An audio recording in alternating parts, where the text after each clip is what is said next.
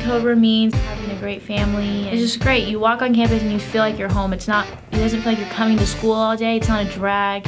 You just come and enjoy it.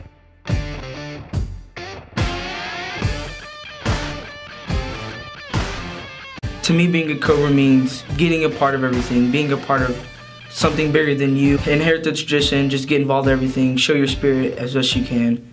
Enjoy it while it lasts, because once it's gone, you're gonna want it to be back. I think being a Cactus Cobra pretty much means you're a part of something bigger than yourself. You're a part of something bigger than yourself.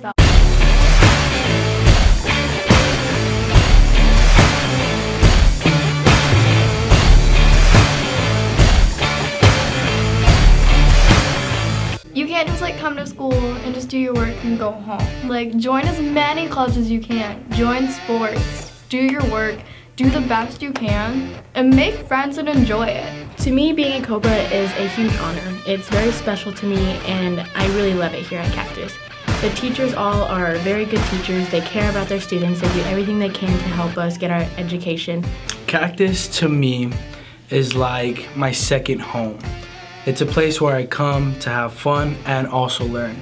The teachers here are amazing. The friends that you make, like new friends come, friends go. It's, it's a whole different thing. Family, it's just, it's a big thing. Cactus is like a second home to me. When I first came here, it's kind of nervous, like you're nervous to like participate in everything. But like once you actually do it, it's like, it's makes every, it makes your high school experience way better. And sports, is the best thing to be in. And when you're in extracurricular activities and stuff, it just makes it a whole lot easier to be in a bigger family. Anything you like, we have everything here at Cactus.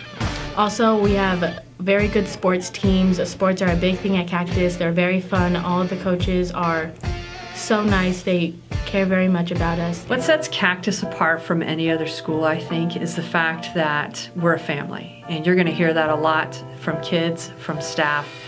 And I think what makes us a family is that I have staff members who are passionate about kids. They're here for their success.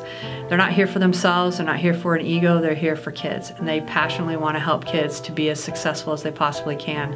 I think for our students, they're a family because they're accepting of everybody. Here, everybody belongs, and no kid is invisible. No kid, no is, kid invisible. is invisible.